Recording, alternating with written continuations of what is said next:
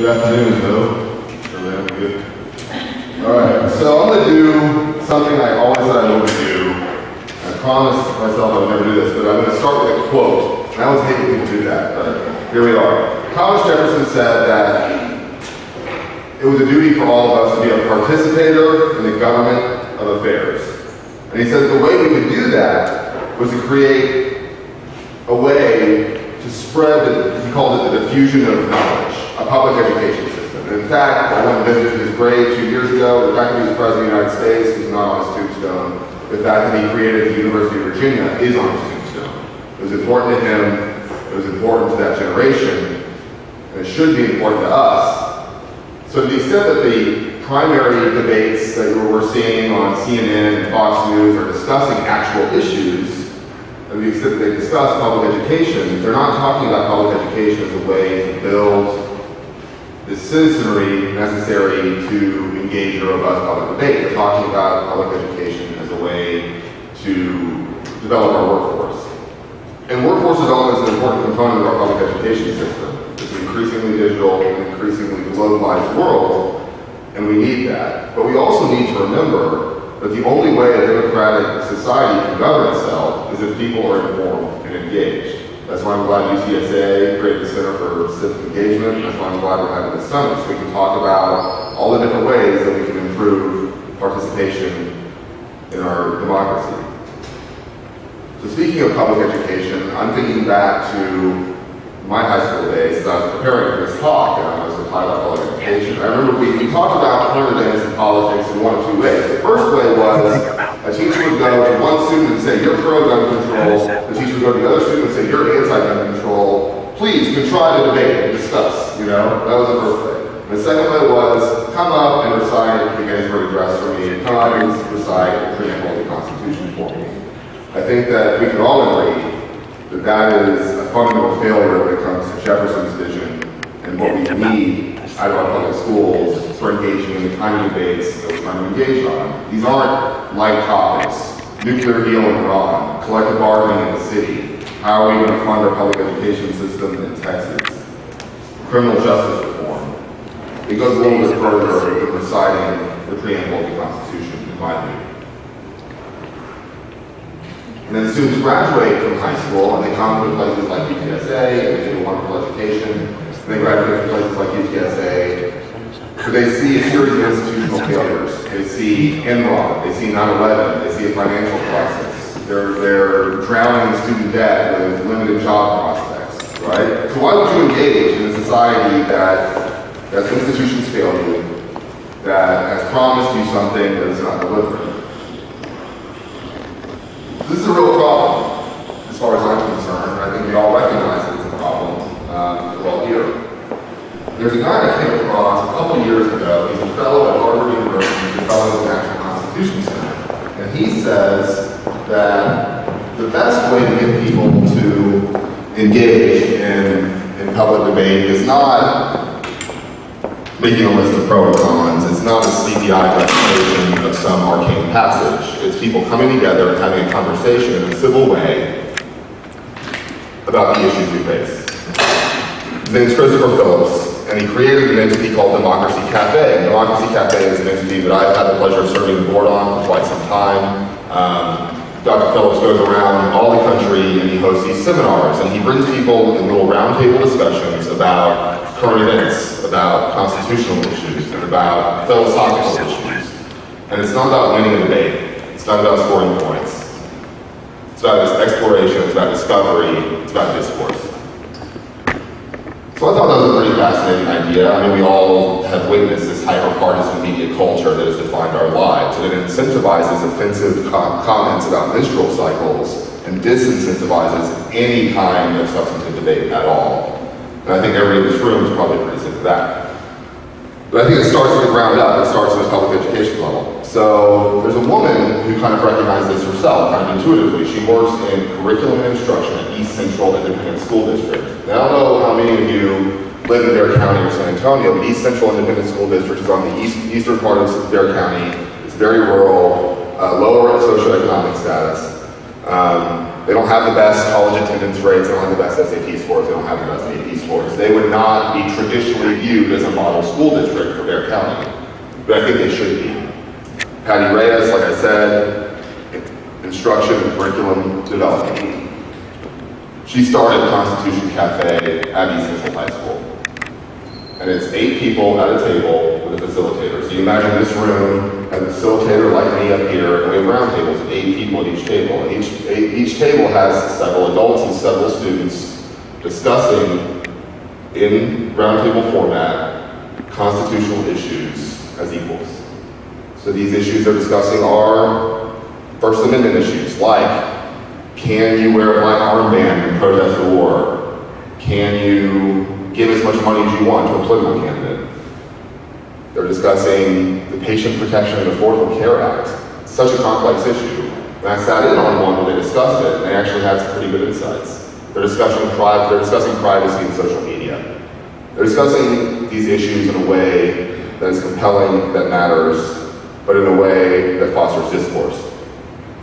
So they started having these Constitution cafes at East Central High School, and a few dozen students would show up. It was before school. It was the kind of students you kind of imagine would show up at these things. the kids that are going to go to UT, the kids that are going to go to UTSA, the kids that are going to do well. But then it grew, and the demand grew. Dozens became more dozens, became more dozens, became hundreds. So now they had no choice. Roland Toscano is the superintendent, Shane McKay's the principal at East Central they decided to incorporate this Constitution Cafe into their school day. So you have these Constitution Cafes now about once a month. You have a waiting list. Hundreds of students hungry to talk about current events. And when you think about that, that's pretty amazing. Because when you think about high school kids these days, you think about Kim Kardashian, you think about things like Kim Kardashian, right? But they want to talk about privacy and social media. They want to talk about the First Amendment. They want to talk about the Equal Protection Clause. They want to talk about all these things. They want to be asked. They don't want to be told. And they want to have a conversation. They don't want to have a debate. 400 students at the last one. And now they've included the culinary program there. The culinary program caters the whole thing. They've, they've incorporated the audiovisual students who kind of put on the audiovisual stuff. And it got me thinking about a lot of things. First of which is, is there a long-term effect of this on these students? I mean, kind of intuitively there is, right? You would think. Well, it turns out the students who have participated in this thus far and have graduated have higher AP scores, higher SAT scores, they're more likely to go to college, and they're more likely to meet whatever college, college readiness standard there is. Um, my boss, who some of you I think heard speak today, Councilman Nirenberg, uh, worked at the Annenberg Public Policy Center for almost 10 years. And this is what he studied. He studied engagement in schools, and he found through quantitative studies that students were engaged for two semesters in this way, or a way like this, had higher voter turnout four years out, and had even higher voter turnout eight years out. So it's long-term consequences for civic engagement. Now voter turnout is great, and we're all for that. But what Patty said, I called her this morning and told her I was going to be giving her a little shout out here. What Patty said was, it's not just that they're voting, it's that they're not reciting Fox News or MSNBC talking points anymore. They think critically about what they're told. And I know some people in here are educators at UTSA, I am, and I know that's a problem we face with our students, is that they're not thinking critically about anything. We need to foster critical thought. We need to foster debate about current issues in a meaningful way in our public schools. And I think that this model of conversation can help us achieve that. And that's pretty much what I have as far as prepared remarks go. I'm more of a group discussion kind of guy, clearly. So uh, if anybody wants to, yes ma'am. So what type of material is made available to them for them to prepare for these discussions? So what type of material is made available? It's actually not as much as you would think. What, what I've seen is usually a couple of articles about an issue from a, a publication like the Wall Street Journal or the New York Times, and you'll see sort of um, a fact-based, sort of objective reporting, and then you'll see a couple of opinion pieces. So they're sort of familiar with the facts, just the facts, and then they're familiar with sort of the spin on both sides. uh, when they walk in. So they're not walking in blind, but they're not also walking in with a bunch of people filling their head with information about it. Dr. Rivera? Well, thank you, that's really interesting. Um, How much do they, or or do you think maybe they could in the future, bring the discussion into their own neighborhood and and their part of the city? Because I think that's really interesting too. So I I guess it could be in two ways, that, say that if they're talking about the First Amendment, they could think about how that might play out in terms of, like you said, like what they can do in their own neighborhood or their own school, but, so there's that part of it, you know, do they, do they bring that to, to understanding of their, their immediate context? But then also, would there be a way to expand this model so you could think a little bit more about city politics? And, and maybe you could get kids interested in a pipeline where they could, they could be on boards and commissions or, or run for office at a fairly young age. I think that that's the, the question is can we expand the scope of this, right, to the broader community? So I would say two things, that's the hope, as far as I'm concerned, is that students will graduate from high school with an education like this, and they'll come to UTSA and do that here, and they'll go off in their communities and, and engage in this discourse in their neighborhood associations. That's, that's the hope. Sort of the, the flip side of that is Constitution Cafe and Democracy Cafe were not meant, they weren't designed to be public schools, and that's sort of the fascinating thing to me about it. Is you go to a coffee shop or a public library in Oakland or Milwaukee or Newark right now, you can probably find a group of people talking about this stuff on a Friday night.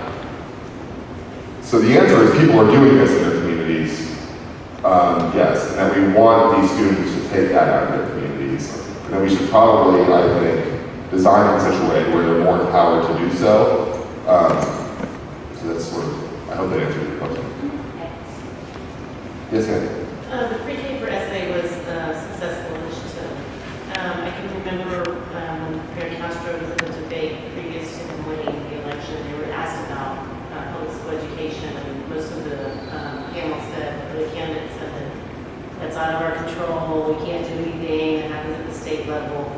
But they got pre-K for which was a huge thing, especially for the underserved populations that needed it the most. And I'm happy that you shared this about East Central, but how, how can locals make it happen at the state, I mean, at the public school level without going through the state system and it not have to be a magnet school?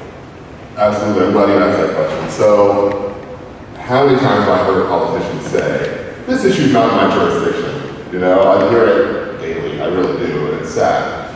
Um, I'm going to plug my boss a little bit to answer your question, I'm sorry to do that. I, I appreciate that. So, uh, he started an initiative called the Kids Town Hall. So, he goes into a school, uh, it's a middle school or elementary school, and he does these town hall meetings where you have, what you would imagine, a bunch of kids sitting, you know, cross-legged on the floor, and they're all really rambunctious. So I went to Garcia Middle School, which is a District 8 school in Northside ISD. So the students said, Councilman Nirenberg, we have this problem with crosswalks and sidewalks in our, our right in front of our school, in our neighborhood. And he said, you know what we can do? Let's go talk to the Transportation Capital Improvements Department about that. And you know what happened in six months? Sidewalks were fixed, crosswalks were fixed. So I would say, there's my little plug where you go in and teach these kids, listen, if you engage, you're gonna get what you want back. So that's the civic engagement piece. Um, I think that as far as jurisdiction goes, sure, the city does not fund the public schools, right? It doesn't have the sort of authority to deal with public schools. But you can do little things on the margins like that that have a profound impact on our public schools. Um, and teach students lessons in sort of an indirect way that's really meaningful and impactful to their lives, in my opinion. I hope that answers your question. Maybe go to the other city council districts and do it One is can hope, I don't know. We have to ask permission, I think.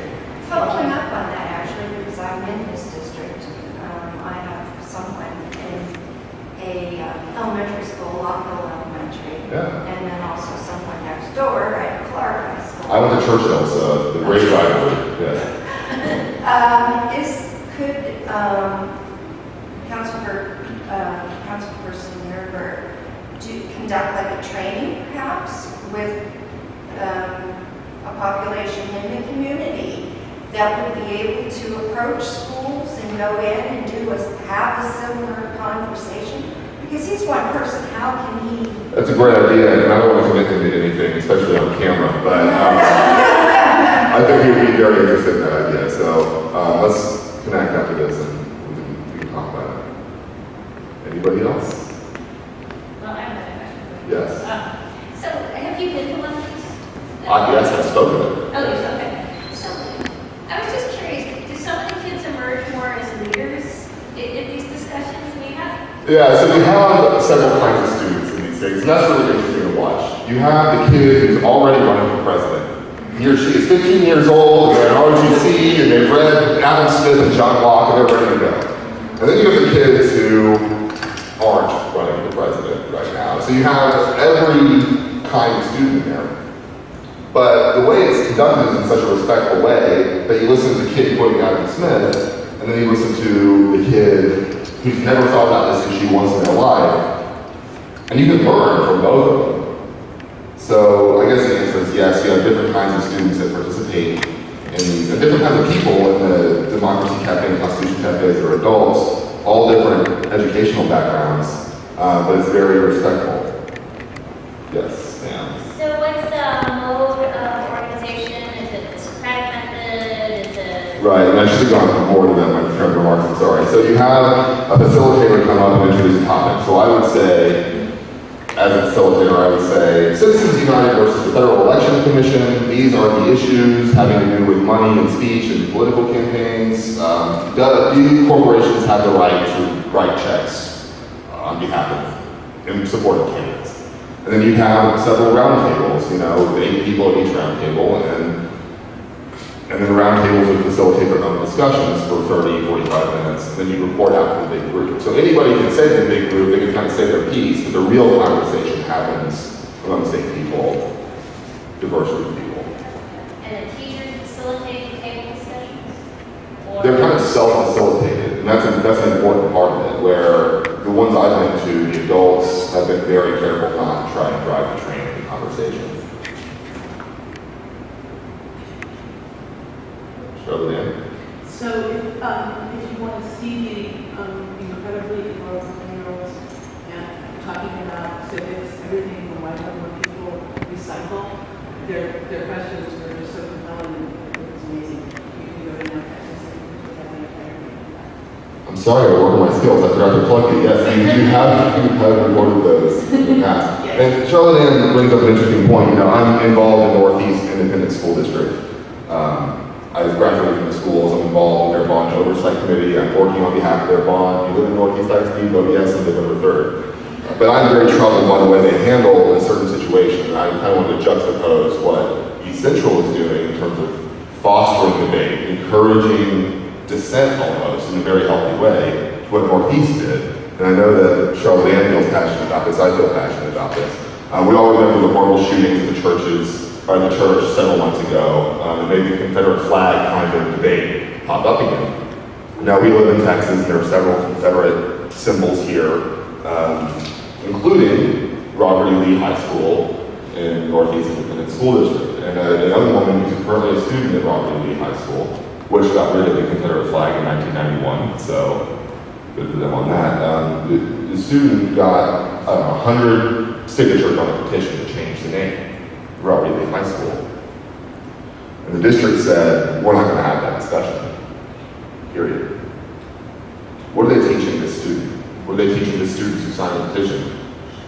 Why, why would you engage? If, if when you engage and you're 17 years old, you're told, no, I'm sorry, we're not going to let you challenge the power structure at all. You don't have to change the name, but let the people have the discussion. I feel like it's a powerful juxtaposition. I'm a supporter of any ISD. I don't think Robbie Lee High School should change its name, but they need to have the conversation, as far as I'm concerned. So. Anybody else? Okay. Oh, yes, ma'am. Sorry, one more. Um, So both you and, and Mr. or Dr. uh, Lean talked about the need for a curriculum. Do you uh, support a particular curriculum that's out there that would help to foster K-12 development of civic engagement or? So my mom actually creates curriculum for Northside ISD. I should have talked to her about this. Uh, but no, uh, I guess to me it's more of a mindset rather than a prescribed curriculum. It's a mindset of we need people having conversations. And we need to encourage exploration. Um, I don't really support personally a curriculum, but I would support a curriculum that encourages those two things. I I don't completely disagree with you, but there is a program called iCivics, and Sandra Day O'Connor is the author of it. Did you ever get the curriculum? That's all school district drives and stuff. Anything else? Short and sweet, I guess. Thank you all for coming, thank you. Yes, Michelle? I was just curious about something. I just wanted to know your thoughts on, do you think that technology has contributed to low voter voter turnout here? Do you think we need to go back to traditional ways? You know, what you're talking about seems something that a lot of people can do and implement in schools, so roundtable discussions. Do you think we're relying too much on technology, social media, digital marketing to try to get people to encourage them to go out and vote? I would say that digital um, communication is a double-edged sword because it definitely accelerates this trend toward 140 character sound bites and that you can't discuss the Iran nuclear deal in 140 characters. If you can, you're smarter than anybody I've ever. Um, but digital can be a great tool to, to communicate to people. Hey, look, there's a bond election in Northeast ISD on November 3rd. Vote, vote yes, and that's that's great. But I think that it does have the, the effect of sometimes distilling complex issues into 140 character sound bites, first of all. And then second of all, it creates sort of an echo chamber where you only follow people that you agree with, so you become hardened in those beliefs. And there's this confirmation bias, which means that you only really agree, you, you only really accept what people that you agree with will tweet and stuff. But so I would say that social media is a double-edged sword.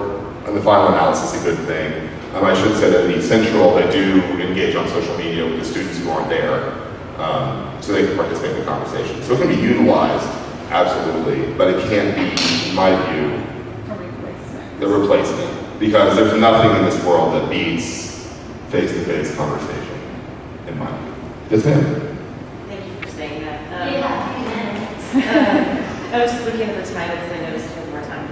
Uh, civic engagement crisis in San Antonio, can you tell us generally your thoughts about that and how the city has contributed or helped toward um, relieving that crisis? Well, I know that a very good-looking councilman came in here today and advocated for changing the election date from May to November, which there's been some debate about even since then. Um, it's tough. It's really tough. I know that in our office, what we do is we go out in the community, you will block walk even at houses that aren't voters, and we'll try to get them to engage with us. What we're undergoing is uh, SA Tomorrow. It's a comprehensive plan that Mayor Taylor announced where we're trying to align all of our policies water, transportation, sustainability, everything. And a big component of, any successful comprehensive plan is engagement. And we're out there begging people to engage, and they aren't. So I mean, there's there's sort of a they have to meet us halfway. The people have to meet the government halfway. There's only so much you can do, but you do need to take every proactive measure you can to remove barriers, right? So the civic engagement crisis in San Antonio, in my view, is you don't have enough people applying to boards and commissions for whatever reason. They don't think they're qualified, they don't think they have enough time, they don't fill out financial disclosures, I mean, whatever it is. Um, UTSA student body president, named name Ileana Gonzalez. My boss appointed her to the ethics review board and said, we want a 22-year-old making decisions about ethics policy in the city of San Antonio. We need the council members to do that. We need more willing people willing be willing to step up. Um, civic engagement crisis in San Antonio, in my view, is about voter turnout. It's about a lot more than that. It's about people really thinking about the Vista Ridge pipeline and collective bargaining agreement in a meaningful way. It's about people signing up for boards and commissions. It's about people who don't have a financial interest in issues, speaking about issues, because I'll tell you, the only people I hear from are people who have a financial. And then there's like Dr. Romero, who's great because she doesn't have a financial interest in anything, but she's thoughtful about it. But you don't have many people like that. We need more people like that. Um, so the civic engagement crisis is not just quantitative, it's also qualitative. And we're trying. There's a lot of politicians just listen to people. And a lot of politicians don't listen to people and they create a disincentive. Yeah, well, it's, it's very disincentive to even speak up because you say, like a student at Robert E. High School probably felt it to some degree. I don't know her, I don't know how she felt, but if I would have, I would have felt like, well, what am I, you know, I'm just kind of like Sisyphus pushing the rock up against the, the mountain, right? And there's no, I know a lot of people feel that way interacting with our government. There are, there are just simple things we can do. Um, more engagement on social, um, more newsletters, going out in communities more. Uh, but it's very, very difficult. It's been very difficult. So we're trying. A very political question for you now, if you want to defer it to side market from camera, I totally understand. Do you have an opinion about uh, strong city manager versus strong government system? I think Sheryl Sculley's done a great job, and I think that she's given us a, A bond rating for seven years in a row, and um, that's all I'll say. Yes, sir. Uh, I want to get back onto the discussion of social media. Oh, I think it was a great point. so, uh, traveling a lot, listening to uh, Intelligence Squared debates. And there, uh, one of the folks were making the case that through social media, we have what's called an illusion of freedom. Whereas through social media, though our efforts are good intention, they never actually serve as a catalyst for the change that we want to see. So is that a problem with social media that you see, TJ, where folks who can lambast their government or you know criticize certain public policy, but that's to the extent in which it where it'll suddenly stop and no change ever seen. And furthermore, on that note, how do you think the city of San Antonio should approach that issue? Um, Councilman Nirenberg had shared that the SA Tomorrow plan, although it is a plan, perhaps maybe could be something more, more of a platform for initiating change, encouraging civic engagement, to make sure that SA Tomorrow is always the tomorrow that we chase and never something that just stops at the present. So the question is, The question is, how do we correct the social media, uh, I guess, issue where folks uh, engage in social media, and discuss, Right. and then it stops there, and the policy or the civic engagement component doesn't actually come to fruition in quote unquote real life? Right, I feel like the civil engagement is a tool in a toolbox and needs to be, social media is a tool in a toolbox and needs to be such. So there are people that go and speak in person at every city council meeting. I'm sure you know who they are, I'm sure anybody who's been to one of these meetings knows who they are, and they're just not taken seriously, they're trolls, that's what they are, they're, they're like, you have trolls on social media too. Serious people with goodwill can make a change, there are enough of them that band together to do so. And they can do it for a letter writing campaign, they can do it for showing up at somebody's door, they can do it through social media. What I've found, because I manage the social media accounts for my boss, is that there are a lot more trolls than there are people with goodwill. The people with goodwill are people that get things done.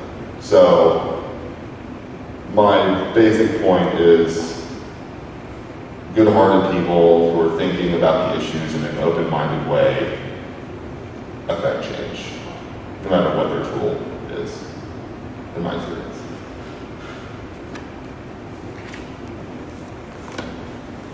Brevity being the soul of wit and everything, I think that I am finished. So thank you for your attendance and